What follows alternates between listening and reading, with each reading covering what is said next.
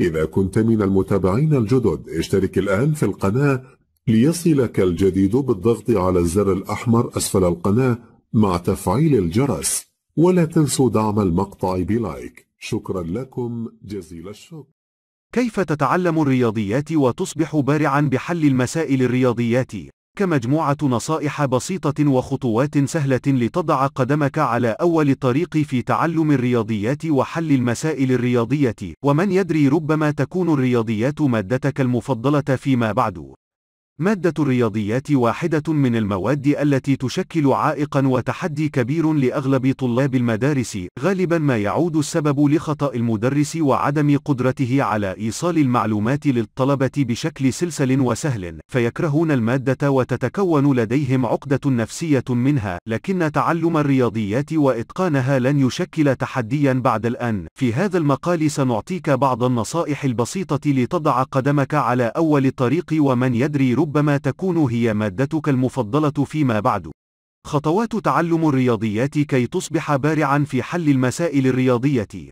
واحد انتظم في حضور دروسك حاول ألا تتغيب أبدا عن حضور حصص الرياضيات مهما حدث، فأغلب دروس ومعادلات الرياضية مترتبة على بعضها لذلك إذا تغيب عن حصة واحدة فستخسر أمامها عشرة. حتى إن استطعت أن تذاكرها وحدك أو طلبت من أحد زملائك أو حتى والديك أن يشرحها لك، سيظل هناك شيء ناقص ولن تستطيع فهم الدرس بالكامل والإلمام به من كافة الجوانب، فما تأخذه من ملاحظات أثناء الدرس هو ما يساعدك على فهمه ووضع الأساس الصحيح له بعد ذلك، لذلك لا تتغيب إلا بعذر شديد واطلب من مدرسك أن يعيد شرحها لك مرة أخرى في أوقات فراغه. اثنان انتبه أثناء الدرس.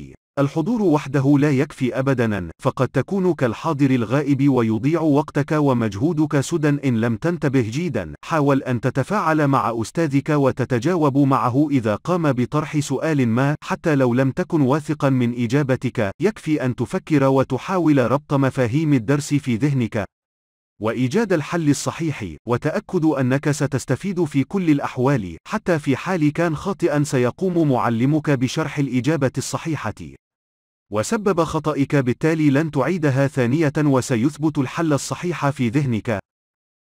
ثلاثة تمرن باستمرار. تعتبر الرياضيات بمثابة تمارين رياضية عقلية، كلما مارستها أكثر كلما زادت قدرتك على حلها بمنتهى البساطة، لذلك لا بد أن تتمرن وتقم بحل المسائل الرياضية قدر ما استطعت، لا تتكاسل أبدا في حل واجباتك المدرسية، بل زد عليها أكثر وأطلب من مدرسك أن يعطيك بعض التمارين الإضافية، وتصحيحها لك، ولا تبدأ أبدا بالتمارين الصعبة، بل قم بحل البسيطة التي تعتمد بشكل بشكل مباشر وأساسي على تطبيق مبادئ الدرس دون تحوير أو حاجة لتفكير مطول، فإذا تأكد من إتقانها بشكل جيد ابدأ في الانتقال لمستوى جديد. أربعة لا تخجل في السؤال عما لا تفهمه، لا تتجاهل أبدا شيء لا تفهمه وتتوقع أنه لن يؤثر عليك وعلى مدى فهمك للمادة، فمع تراكم هذه التفاصيل والجزئيات الصغيرة تجد نفسك أمام معضلة رياضية، لا تفهم فيها شيء. لذلك مهما حدث حاول أن تراجع أستاذك أثناء الحصة الدراسية وتطلب منه أن يشرحها لك مرة أخرى، فإن لم تستطع فبعد الدرس إذا، أو حتى أحصل على مساعدة خارجية سواء من فصول التقوية أو حتى أطلب من أحد زملائك أن يشرحها لك، ولا تتركها حتى تتمكن من حل كافة الأسئلة المتعلقة بها بكل سلاسة. خمسة علم أساسيات علم الرياضيات لكي تفهم الرياضيات جيدا لابد أن تفهم أساسياتها وكيف تتم العمليات الرياضية، ابدأ بتعلم الطرح والجمع والقسم بكافة مستوياتها، لا تستغرب فهذه هي أساس الرياضيات. وبها يتم حل أي مسألة مهما كانت، لذلك لابد أن تتقنها عن ظهر قلب سواء ضرب أو طرح ثلاثة أرقام ببعضهم وأكثر أو كيفية القيام بعمليات القسمة المطولة وما إلى ذلك. 6. تعلم أساسيات الفروع المختلفة. الآن بعد أن أتقنت كافة العمليات الرياضية الأساسية من جمع وطرح وضرب وقسم حان الآن تعلم أساسيات ومفاهيم الفروع الرياضية. مثل الجبر والهندسة وحساب المثلثات. إلخ هذه الفروع مرتبطة ببعضها خاصة علم الجبر وعملياته فهي تدخل تقريبا في حل أغلب المسائل والمعادلات لذلك لا بد أن تتعلم كيفية حل المعادلات ببعضها البعض. وفك الأقواس وحل عمليات التفاضل والتكامل. ولا تنسى أيضا تعلم قواعد الهندسة الأساسية وكيفية حل البراهين وما إلى ذلك. تبع تعامل مع المسائل الرياضية على أنها لعبة.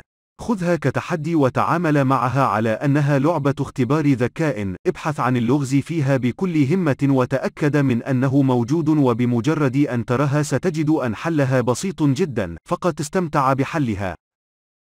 ثمانية أوقف كل الأفكار السلبية. توقف عن قولك بأنك لست بارعا ولا موهوبا في حل المسائل الرياضية، لا توجد موهبة بهذا الشكل. ربما يوجد بعض الأشخاص الذين يتمكنون من فهم القوانين الرياضية والتعامل معها بسهولة.